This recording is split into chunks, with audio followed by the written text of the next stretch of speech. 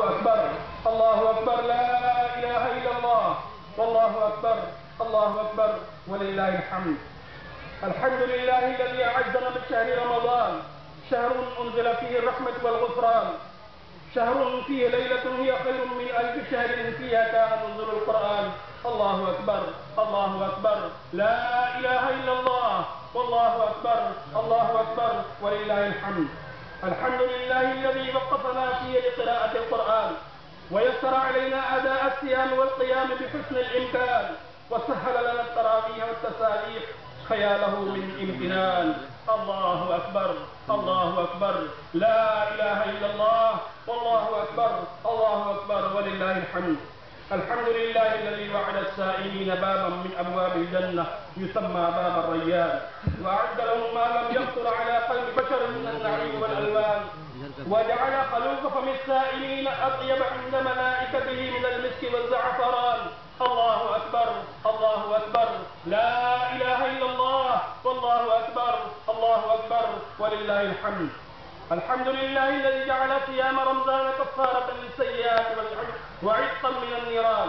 وأكرم السائلين بفرحتين فرحة عند الإفطار وفرحة عند لقاء الرحمن.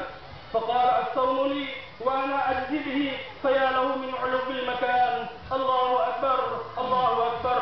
لا إله إلا الله. والله أكبر الله أكبر ولله الحمد. نحمده وهو المحمود في كل مكان. ونشكره وهو المشكور بكل لسان. ونستعينه في كل ما يهمنا من أمر المعاد وأمر وأمر الأديان. ونستغفره من كل ما أفرطنا من الخطايا والعصيان الله اكبر الله اكبر لا اله الا الله أكبر الله أكبر ولله الحمد. وأشهد أن لا إله إلا الله وحده لا شريك له. شهادة ينال بها الشاهد دار الرضوان وينجو بها من النيران وإلا من بيده ملكوت كل شيء المهيمن الديان. الله أكبر الله أكبر لا إله إلا الله. والله أكبر الله أكبر ولله الحمد. وأشهد أن سيدنا ومولانا محمد عبده ورسوله الذي أرشي الذي أرسل حين شاع الكفر في البلدان. فدعا الخلق إلى التوحيد والإيمان وأبطل الشرك وحبائل الطغيان. الله أكبر الله أكبر. لا إله إلا الله. والله أكبر الله أكبر. ولله الحمد. اللهم صل على هذا النبي الكريم سيدنا ونبينا ومحمد وآله وصحبه ما لمع القمران وتعاقب الملوان في البوادي والعمران.